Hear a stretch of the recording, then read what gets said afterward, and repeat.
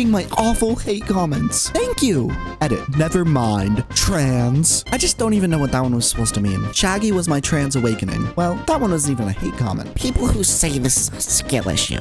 Notice how not even a single person actually liked that? We could care less. Kind of like how I could care less about the percentage of my viewers that are unsubscribed, but I still do care, so please subscribe. Oh, oh, oh, oh, oh, oh, oh, oh. I don't think I could ever do that again. But what I will do is start